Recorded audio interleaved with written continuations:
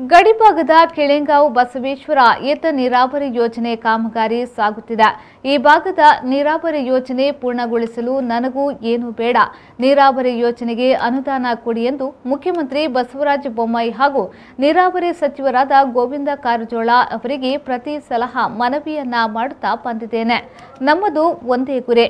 ಕೆಳೆಗಾಂವ್ ಬಸವೇಶ್ವರ ಏತ ನೀರಾವರಿ ಸಂಪೂರ್ಣಗೊಳಿಸಲು ಬರಪೀಡಿತ ಗ್ರಾಮಗಳನ್ನು ಹಸಿರು ಕ್ರಾಂತಿ ಮಾಡಿಯೇ ತೀರುತ್ತೇನೆ ಎಂದು ಮಾಜಿ ಸಚಿವರಾದ ಕಾಗವಾಡ ಕ್ಷೇತ್ರದ ಶಾಸಕ ಶ್ರೀಮಂತ್ ಪಾಟೀಲ್ ಹೇಳಿದರು.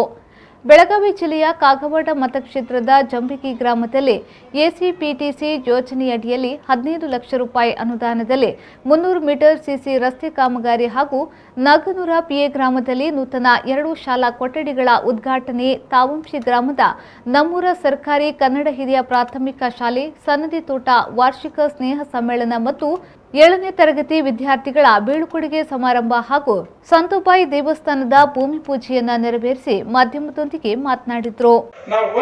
ಎಲ್ಲಕ್ಕಿಂತ ಹೆಚ್ಚು ಪ್ರಾಶಸ್ತ್ಯ ಅದಕ್ಕೆ ಕೊಡ್ಬೇಕಂತ ಇಲ್ಲಿ ನೀರಾವರಿ ಸಲುವಾಗಿ. ನೀವು ಎಲ್ಲರೂ ಗುರ್ತ ನಮ್ ಕೆಳೆಗಾವ ಬಸವೇಶ್ವರ ಯಾಕೆ ನೀರಾವರಿ?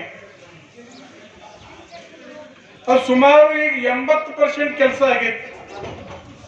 ಇನ್ಕ ತಕ್ಕ ಎಲ್ಲ ಕೆಲಸ ಪೂರ್ಣ ನೀರು ಕೂಡ ಬೀಳುವಂತ ಹಂತದಲ್ಲಿ ಬರ್ತಿತ್ತು. ಆದ್ರೆ ಇದು ಕರೋನಾದಿಂದ ಒಮ್ಮೆ ಜೋರ್ಲಿ ಕರೋನಾ ಬಂತು.